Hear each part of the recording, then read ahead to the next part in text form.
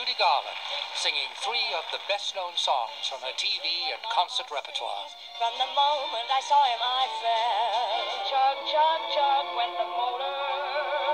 But the first time she sang these songs was many years earlier on a soundstage at MGM.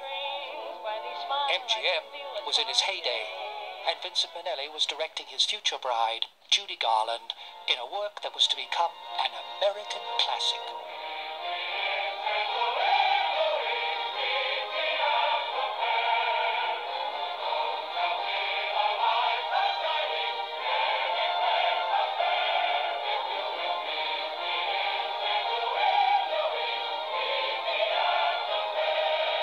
Freed had a little trouble convincing Judy to take part in the movie. Esther, he's out there. John on the porch. Judy was reluctant to play the boy crazy Esther. She felt the character was too juvenile. She was now 21 and already separated from her first husband, David Rose. At this point in her career, she'd played several adult roles and didn't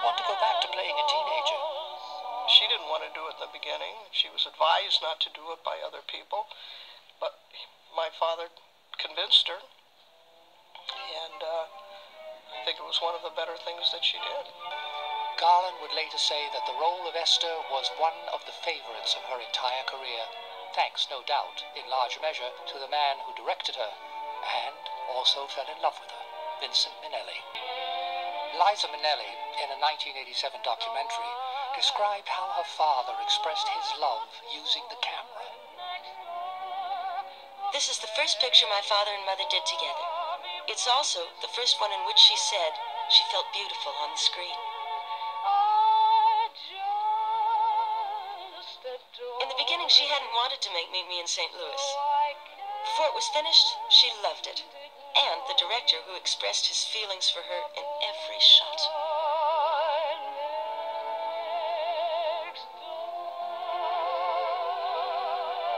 Mr. Minnelli was the kind, understanding, patient person that Judy needed. Within a year of the release of Meet Me in St. Louis, Judy Garland and Vincente Minnelli were married. A year after the wedding, their daughter, Liza, was born. I think he showed her such respect that uh, she couldn't resist it.